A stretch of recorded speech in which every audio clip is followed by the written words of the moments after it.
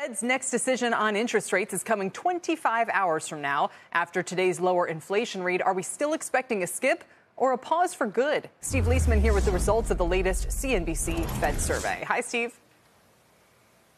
Hey, Kelly, yeah, we have surprising results in this survey with showing our 33 respondents they're differing with the market outlook and think the Fed's course here is none and done. That is, no rate hike now and no more this year. 91% of respondents see no rate hike at this meeting, although 6% do see one.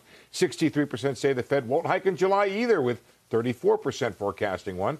The, the funds rate peaks at 5.24%. That's a bit higher than the current rate because some do see that July hike. The Fed is then seen on hold at the peak rate for nearly eight months.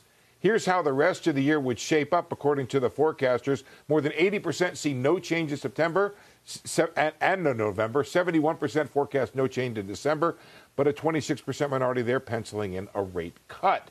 Peter Boockvar, Chief Investment Officer at Bleakley Group, writes in with the survey Jay Powell will talk tough at the presser after not hiking rates but he's done with the rate hikes. Boockvar says credit tightening from the banks and decelerating housing inflation are going to keep the Fed on hold. And that's one factor that could explain this difference between the survey and between the markets. The concern about bank lending, you can see here 53% are reducing their forecast for this year because of those tighter credit standards, 47% had not. But the average reduction was 0.3 percentage points of GDP. That's a lot of GDP when there isn't much to give. Still, there are many who think the Fed should keep raising rates and will. Mark Vitner, chief economist at Piedmont Crescent Capital, says we're looking for a hawkish skip. We believe the Fed will take a break from hiking rates at its June meeting, but signal they will raise rates further at coming meetings.